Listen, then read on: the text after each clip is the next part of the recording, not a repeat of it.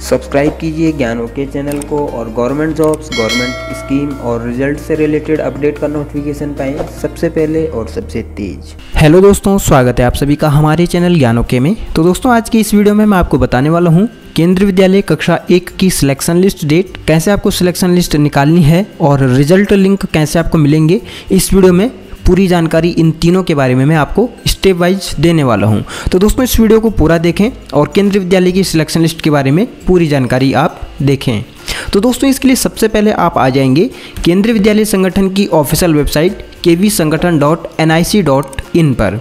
यहाँ दोस्तों, सबसे पहले मैं आपको बता दूँ कि जो रिज़ल्ट की डेट है सिलेक्शन लिस्ट की जो डेट है, वो कैसे आपको देखनी है और क्या सिलेक्शन लिस्ट की डेट है तो दोस्तों, इस वेबसाइट पे आने के बाद आप एकेडमिक के सेक्शन में आएँगे और यहाँ एडमिशन गाइडलाइन पे आपने क्लिक कर देना है। मोबाइल में भी आप इसी तरह से इसे ओपन कर लेंगे और यहाँ रिवाइज शेड्यूल आप ओपन करेंगे।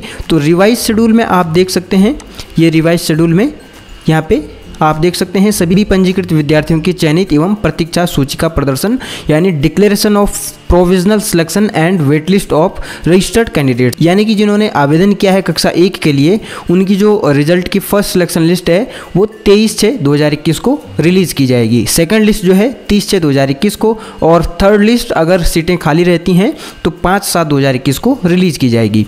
अब दोस्तों, जो हमारा दूसरा पॉइंट है कि कैसे आपको सिलेक्शन लिस्ट निकालनी है सिलेक्शन लिस्ट का जो पीडीएफ है कैसे आपको मिलेगा और रिज़ल्ट लिंक यानी जो सिलेक्शन जो की जो पीडीएफ है, वो कहाँ से आपको उसका लिंक मिलेगा, उस बारे में मैं आपको बता देता हूँ। तो वापस से दोस्तों, आप इसी वेबसाइट पर आएँगे, केंद्र विद्यालय की ऑफिशियल वेबसाइट पर K V Sangathan dot N I C dot in पर और इसी के होम पेज पर आपको एक लिंक मिलता है about K V S about K V S में आप आएँगे और यहाँ डायरेक्टरीज पे आपने क्लिक करना है। उसके बाद आपके सामने इस तरह के तीन ऑप्शन खुल जाएँगे। यहाँ आपने रीजन और G I E T S पे क्लिक कर लेना है।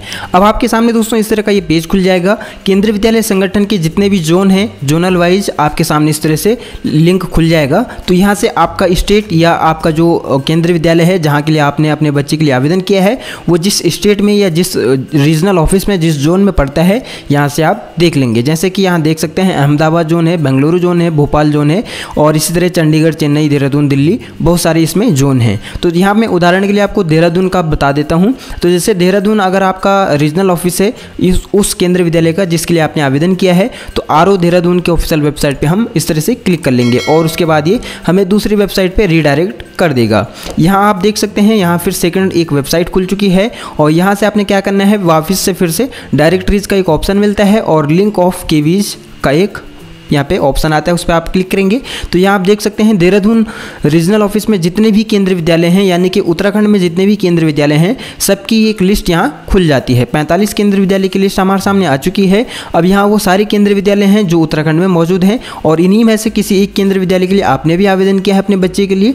आप उस केंद्रीय विद्यालय के सामने की जो वेबसाइट है, उसको आप ओपन कर लेंगे। तो दोस्तों, यहाँ से हम कोई सा भी केंद्रीय विद्यालय उदाहरण के लिए खोल रहे हैं। आपने उस केंद्रीय विद्यालय की वेबसाइट को खोलनी है, जिस केंद्रीय विद्यालय के लिए आपने अपने बच्चे के लिए आवेदन किया है। तो दोस्तों, हमने यहाँ पे ये केंद्रीय विद्यालय की वेबसाइट खोल ली है, यह आप देख सकते हैं।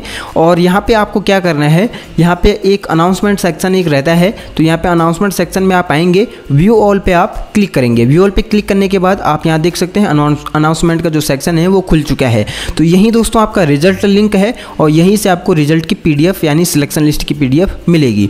तो यहाँ पे आप देख सकते हैं list of candidates registered for admission in class second to eighth तो दोस्तों, यहाँ पे आप अभी देख रहे हैं, यहाँ पे क्लास सेकंड से एट्थ तक की सिलेक्शन लिस्ट यहाँ पे आई हुई है।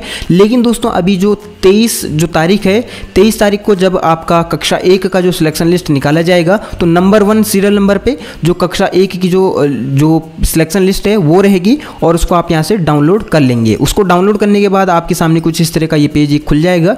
ये देख सकते हैं इस तरह से, इसमें आपके बच्चे का नाम है या नहीं, वो आपने चेक कर लेना है। और इस तरह से दोस्तों, आप केंद्रीय विद्यालय की जो सिलेक्शन लिस्ट है, वो आप देख सकते हैं, वो चेक कर सकते हैं। और इस तरह से दोस्तों आप सिलेक्शन लिस्ट निकालेंगे रिज़ल्ट लिंक आपको ऐसे मिलेगा जैसे कि हमने इस वीडियो में आपको बताया। और दोस्तों, केंद्रीय विद्यालय संगठन की ऑफिशियल वेबसाइट का लिंक नीचे डिस्क्रिप्शन बॉक्स में दिया हुआ है। साथ ही साथ एक वेबसाइट का लिंक दिया हुआ है, जिसमें कि आपको केंद्रीय विद्यालय से संबंधित पूरी जानकारी मिल जाएगी। इसी तरह दोस्तों, केंद्रीय विद्यालय एडमिशन से रिलेटेड लेटेस्ट अपडेट की जानकारी पाने के लिए आप हमारे साथ बने रहें।